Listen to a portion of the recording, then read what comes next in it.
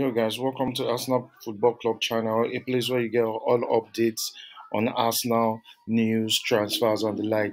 So kindly subscribe if you've done so. Thank you, and don't forget to hit the notification. Yo, guys, Kai Havertz is here to register a good contribution for Arsenal after completing a £65 million move to the Emirates from Chelsea this summer.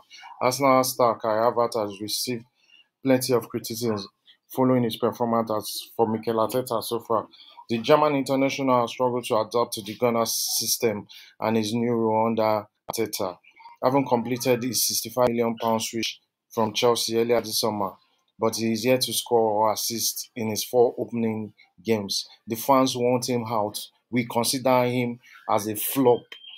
Arteta should not have paid such amounts of money for Havertz or even signed him in the first place commented one of the fans. So they want his contract terminated or he should leave by the January transfer window.